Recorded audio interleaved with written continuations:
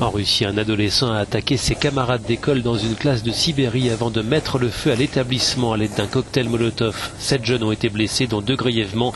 L'assaillant a lui tenté de mettre fin à ses jours.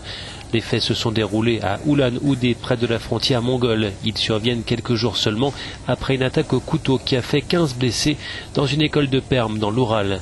Ces violences relancent le débat sur la sécurité des écoles en Russie, encore profondément marqué par la prise d'otage de Beslan, qui avait fait plus de 300 morts en 2004.